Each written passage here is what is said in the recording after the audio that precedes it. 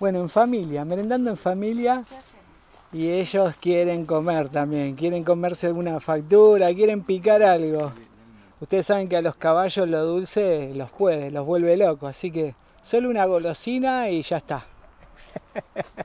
Mirá la felicidad, mirá esa felicidad.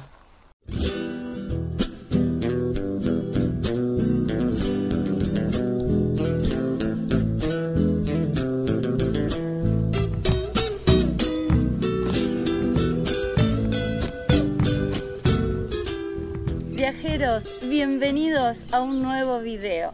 Nos vinimos a los pagos de Altamira, partido de Mercedes, para conocer la historia de Agustina.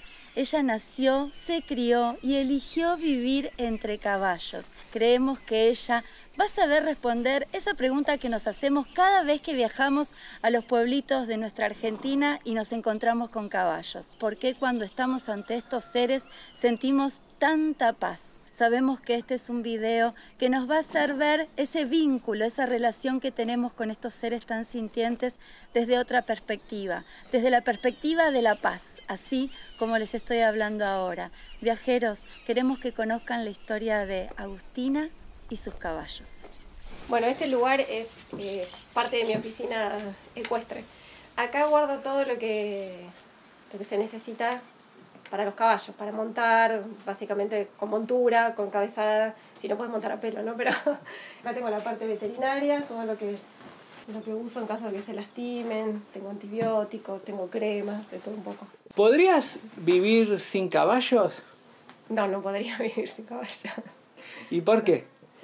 Porque siento que son parte de mí, son como una prolongación de, de mi persona, de mi personalidad, de, de, de, todo. Me hacen ser lo que soy. ¿Es bueno o malo eso? No sé. Siempre se dice que el perro es el mejor amigo del humano. ¿Y el caballo? El mejor esclavo del humano. ah, nos mataste. y sí. ¿El mejor esclavo? Sí. El esclavo más fiel. en su, uno de sus posteos en Instagram ella los define como gigantes de cristal. Y eso a mí me atravesó el alma, porque ella explicaba que ellos sienten mucho más que sentimos nosotros los humanos y soportan el dolor. Y, y lo soportan hasta el punto tal que en un momento se dejan caer. Y tal vez nosotros no vemos que está sufriendo. Entonces son gigantes de cristal vimos que tenías un posteo que una vez paraste a un señor en un carro. Sí. ¿Y qué pasó ahí? Sí, bueno, el señor es un vecino de la ciudad que, que suele andar eh, con su caballo en el carro. Un día lo paré para preguntarle, en principio lo paré porque me llamó la atención el estado, el buen estado del caballo. Entonces eh, se me ocurrió preguntarle un par de cosas al, al señor. Y él me contaba que, bueno, el caballo se llama Gordo y el caballo impecable, lo tiene impecable, todavía lo sigo viendo, siempre está con, con herraduras, los cascos bien cuidados, eh, buen peso, eh, lindo pelo, o sea, es un caballo que se ve que está sano. Y él me decía que, que lo cuida, que cuando sale, termina de hacer las recorridas, llega a la casa, lo baña, se hace calor, le da agua enseguida, eh, primero se ocupa del caballo y después de bajar todo lo que tiene en el carro. Y él me dice que gracias al caballo él come. Entonces, eh, él lo cuida como si fuese aparte un miembro de la familia. Y, y, bueno, nada, me pareció lindo contarle la historia porque a veces no es tan fácil eh, como nos gustaría a todos decir, bueno, que se terminen los carros, que se terminen. Creo que hay que ver, eh, a mí me encantaría que se terminen, sobre todo el maltrato, pero también hay que ver cada caso puntual. Como hay maltrato en muchos deportes de elite, hay maltrato en todos lados, pero también hay buen trato en muchos lugares.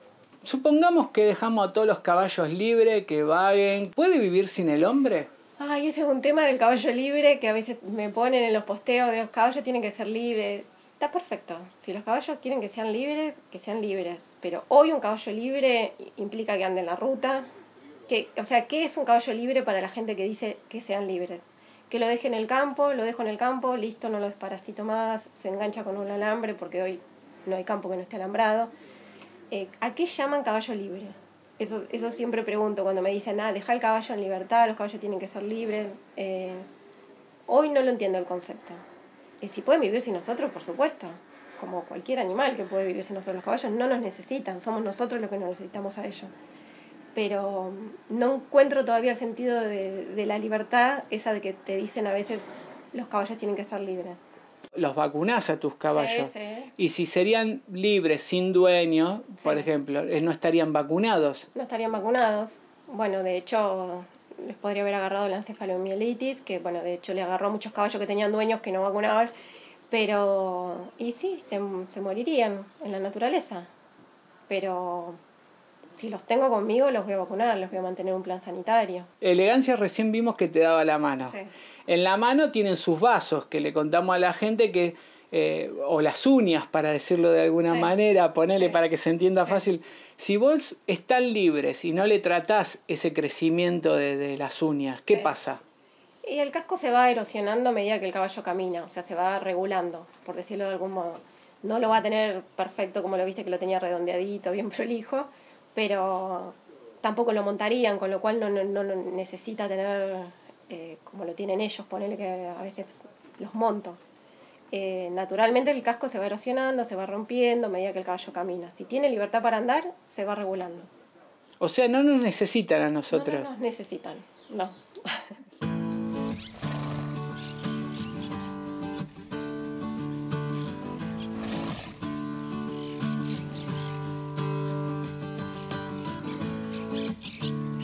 Ya hay amistad acá, ¿no? ¿Él es la más cariñosa?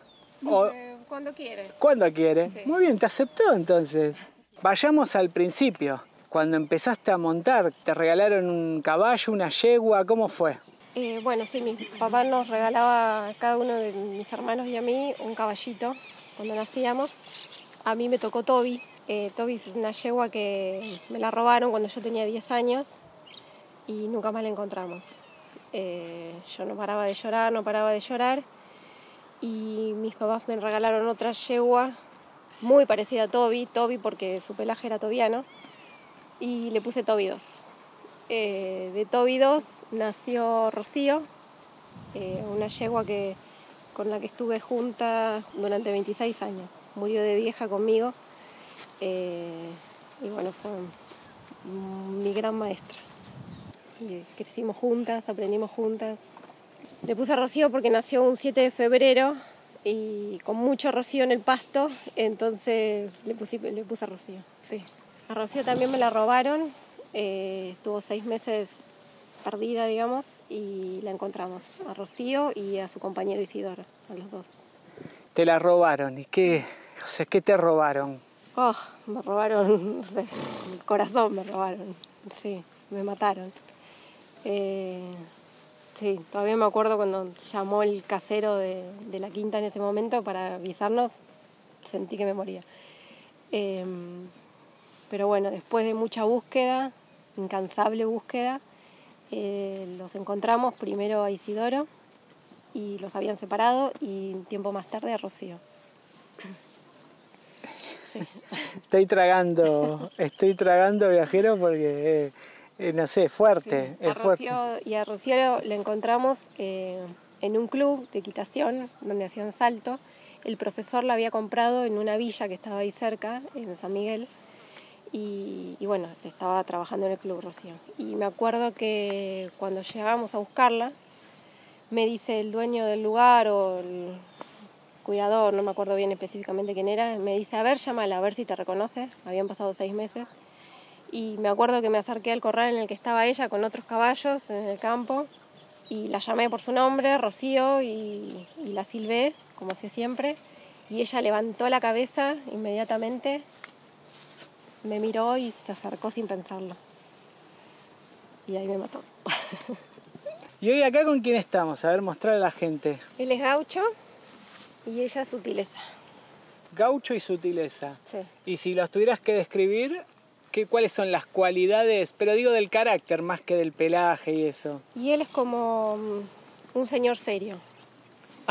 Sí, serio. eh, a veces puede ser medio antipático, no le gusta sociabilizar mucho, pero es bueno. Bueno y todos los caballos lo aman. Es como el mejor amigo. ¿Los caballos tienen un líder, un jefe de manada? Sí, yo creo que sí. Hoy está como medio como todo está un poco cuestionado el tema del líder y todo eso, pero yo creo que sí. No, pónganle el nombre que quieran, pero tienen un caballo al que el, resto sigue, em, porque es ese caballo que para mí les da seguridad y, y confianza y con él se sienten bien. Yo en este caso creo que es gaucho, en mi manadita. Y sí, estoy convencida que sí. Para la gente que no tiene idea de caballos, pero quiere acercarse a ellos, ¿qué les recomendás que lean de su lenguaje corporal? Eh, primero, si pueden, es que no, quieran acercarse, que dejen a veces que el caballo se acerque, no, no invadir, es lo que mm, yo marco siempre, como que no, no, invadirlos. Si estamos en un lugar con ellos, fíjate que yo estoy acá y, estaba con Gaucho y se acercó Suti. Eh, no sé, como que está bueno, me parece que el caballo se acerque. Tenés algunos posteos en Instagram que hablas de eso, de dejarlo ser. Sí. ¿Vos sos la dueña, la jefa de los caballos? Ay, no, no. No, no, no, no me considero eso. O sea, me considero la dueña a los efectos legales, porque si no me los puede sacar cualquiera. Pero no me siento la dueña de ellos, no. Si, si ellos no te dan, voy a decirlo así, no te dan pelota ese día, no te dan bolilla, uy, en contra de todo lo que puedan pensar muchos domadores y todo, los dejo, qué sé yo, los dejo ser. ¿Puede ser que un momento no quieran estar solos, no quieran estar con vos? Sí, puede ser, sí. Y no me ofendo. Claro, porque ahí vamos a que yo soy el líder de la manada, me tienen que hacer caso porque yo soy el que manda. Claro, yo no, no, no creo en eso, de que nosotros seamos los líderes. Eh, creo que pasa por otro lado por esto, por generarle confianza, por generarle seguridad, porque que ellos disfruten de mi compañía, como yo disfruto de la de ellos. Y una vuelta me pasó con un profesor que mm, estábamos haciendo un recorrido de salto y en una de las vallas Rocío se empacó y no quiso saber nada. Se empacó y se empacó. Y ahí quedó.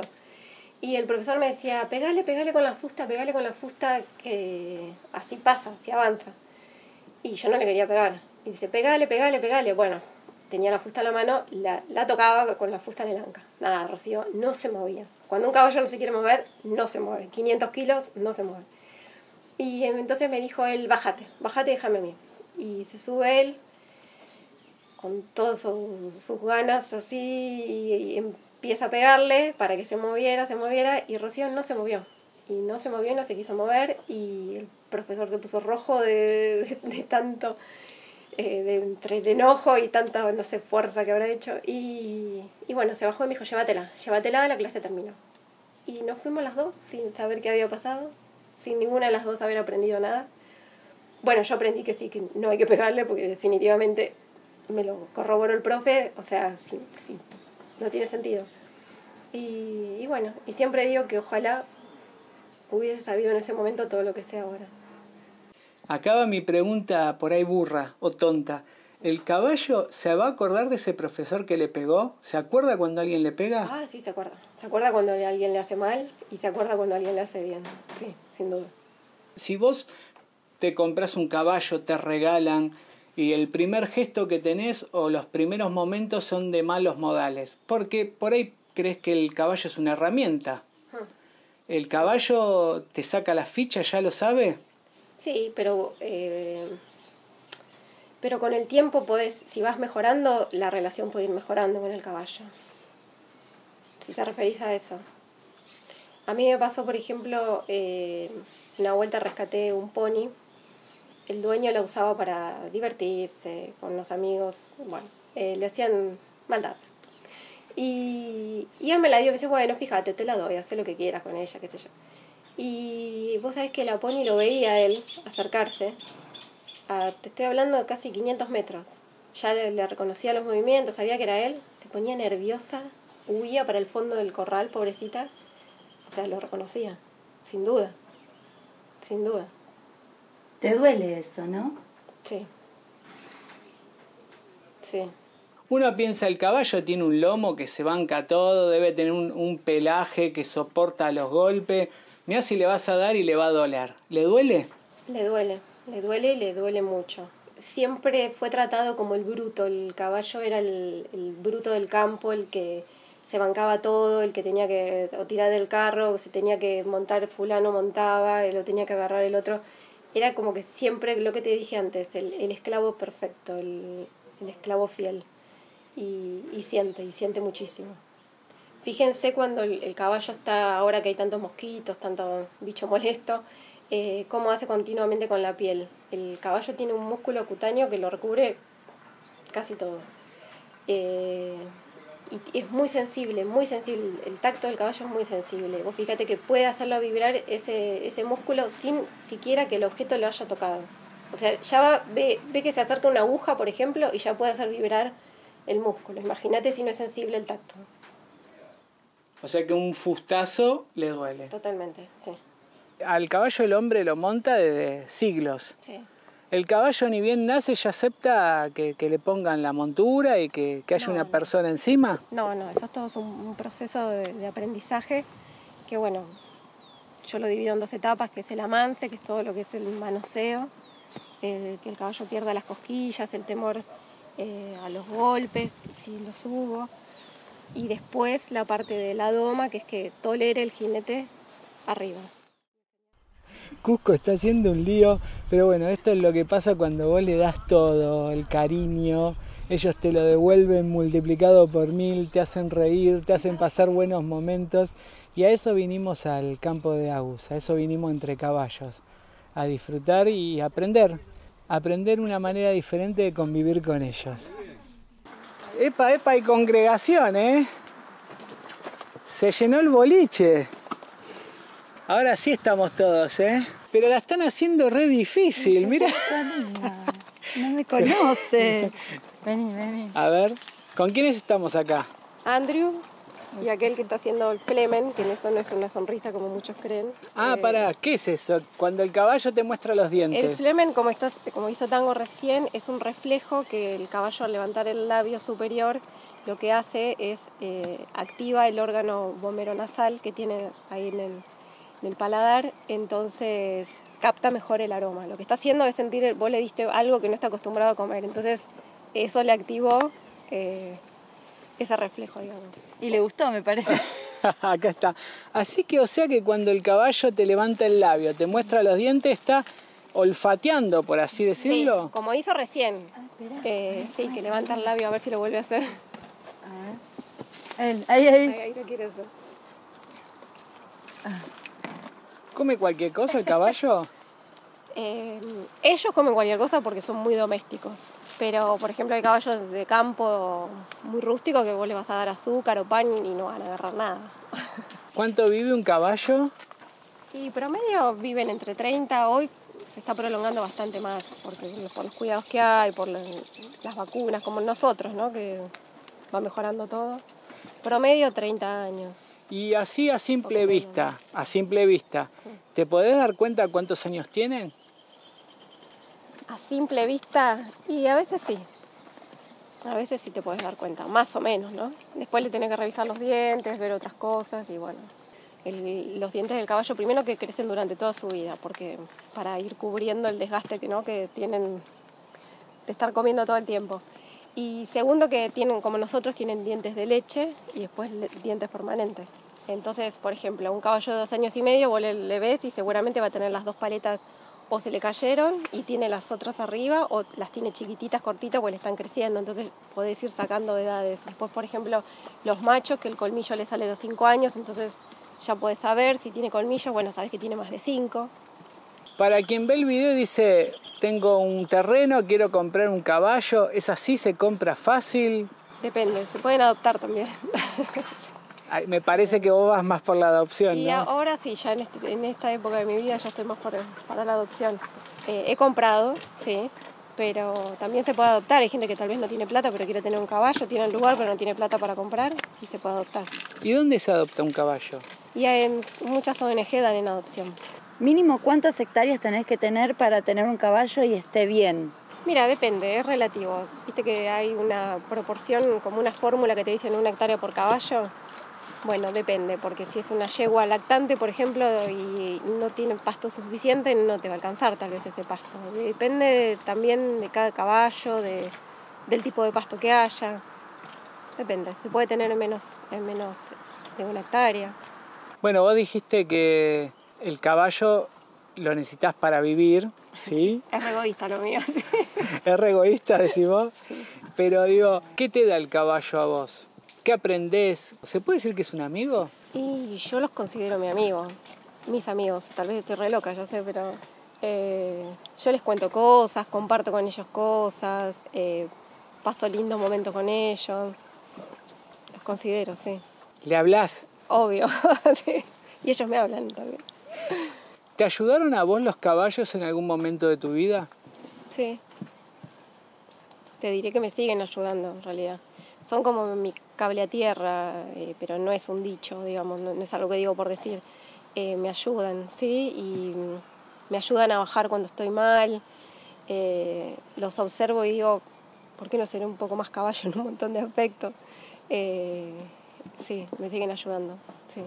Si vos llegas a tu casa mal, tuviste un mal día como cualquier persona, vas al campo, vas a dar una vuelta, ellos te perciben, saben que pueden saber que vos estás mal. Eh, sí, sí, pueden saber, sí, creo que saben. Por, creo que ya lo hablamos antes que te decía que, bueno, hay gente que dice que los caballos sienten tu ritmo cardíaco, eh, las hormonas. Yo creo que pasa porque ellos eh, no saben leer, leen nuestro lenguaje corporal más inconsciente. Cuando vos estás contento o estás triste, lo transmitís a tu lenguaje corporal y eso el caballo lo lee. Si le podemos tirar a la gente un tres sabías qué, a ver, de los caballos. Bueno, que los ojos del caballo, por ejemplo, son muy buenos para ver en la oscuridad, que abarcan casi entre 340 y 360 grados, que en su visión tiene un par de puntos ciegos, como por ejemplo 45 centímetros así, ponele. No ve. No ve. Y otro inmediatamente atrás de la cola. ¿Cuántos te dije ahí? vamos, vamos, tira más. No, no Las orejas, por ejemplo. Bueno, cuando tiene las orejas así, que se dice que mojó las orejas, generalmente se le llama así en el campo. Cuando las pone así, casi no se las tenés que ver, ¿ves? Fíjate, eh, el caballo está enojado. O puede estar muy dolorido, pero generalmente no está, no está bien en ese momento no lo, no lo molestes mucho, digamos. Claro, no lo molestes, sí. O fíjate qué le pasa, porque le puede estar pasando algo. A veces el caballo se enoja por dolor, eh, por miedo, entonces fíjate qué le pasa. Y si no, déjalo, si ves que porque estás vos, y bueno, fíjate. Otra cosa, el caballo tiene visión binocular y monocular. A ver, eso, ¿cómo? Tíralo, La monocular que cada ojo ve una imagen distinta. O sea, lo que él aprende del lado derecho que estoy yo ahora, lo que ve de este lado, se lo tengo que mostrar del otro lado. Porque ah. tiene lo que se llama imagen rota, como si, si ese, ese objeto pasa por uno de los puntos ciegos que te nombré antes, se lo tengo que volver a presentar del otro lado. Porque perdió contacto.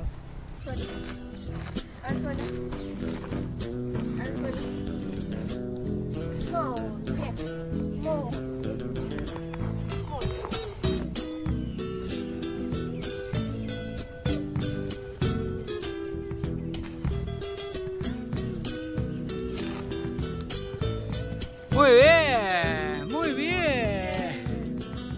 Una de las funciones primordiales de la cola es espantarse los bichos.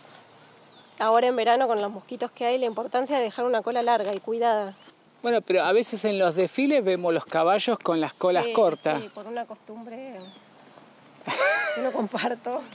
Ah. Pero, pero bueno, eh, sí, se ve mucho en el campo. Pero es una defensa la cola. La cola es una defensa, sí total para los bichos. Mira cómo me está, me está espantando a mí los mosquitos también.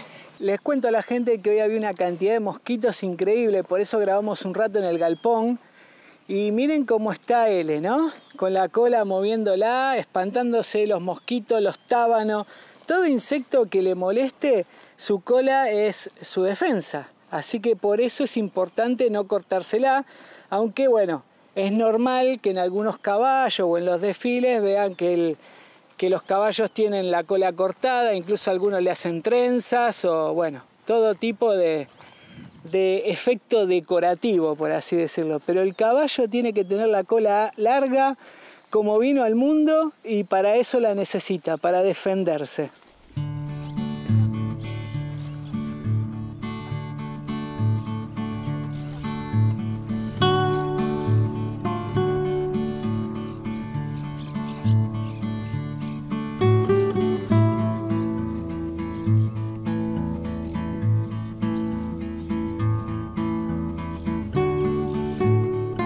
Que hiciste no, son piruetas y punto, digamos.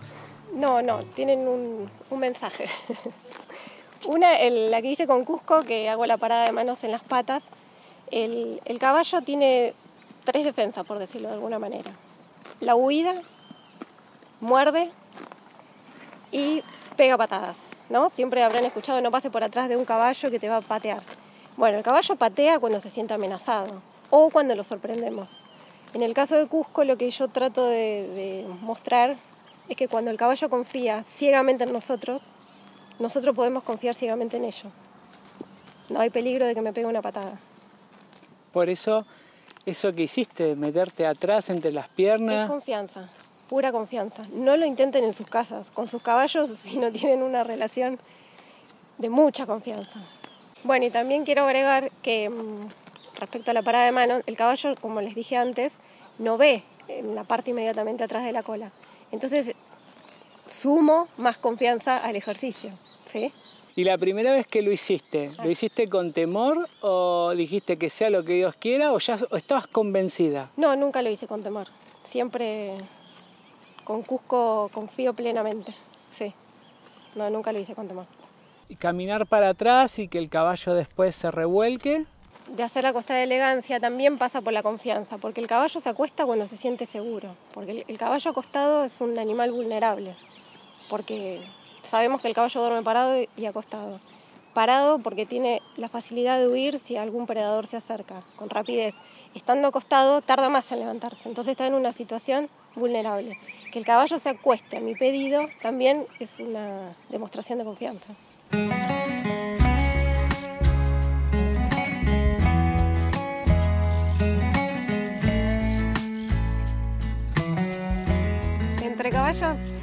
Eh, viene en realidad porque es el nombre de mi primer libro.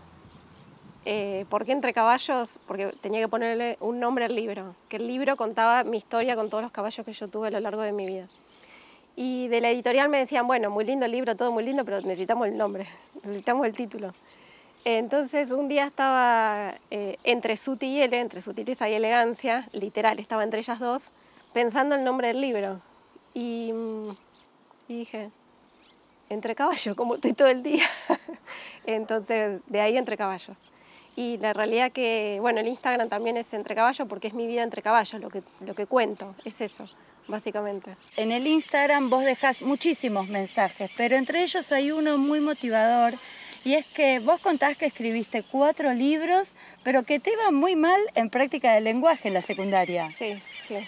En realidad no pegaba una, pero qué sé yo, de, pronto me salió esta beta de escritora y lo logré. Aparte, para mí escribir un libro tiene una otra cosa muy emocional, que es que yo casi pierdo la vista de un ojo eh, por un problema que tuve y, francamente pensé que no iba a poder. De hecho, tuve que dejar de trabajar en el lugar en el que estaba porque no podía rendir como lo hacía antes. Y, bueno, eh, el logro es doble. Justo tenía mi nene chiquito y me pedía que le ayudara a hacer la tarea y me acuerdo que no podía leer lo que me quería que lo ayudara y eso me mataba. Pero bueno, de a poquito lo fui, fui mejorando y, bueno, y hoy puedo decir que llevo una vida normal.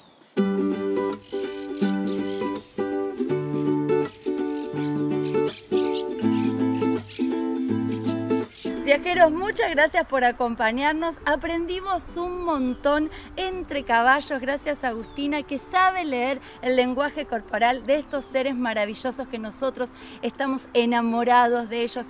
Hoy nos vamos con un montón de aprendizajes y sabemos que también tenemos un montón de preguntas para hacernos. Pero eso es lo lindo, saber que tenemos mucho más todavía por aprender de estos seres que el planeta nos regaló y que tienen mucho por enseñarnos a nosotros, los Gracias viajeros por acompañarnos en este viaje tan lindo por la República Argentina y los esperamos en un nuevo video. Chao.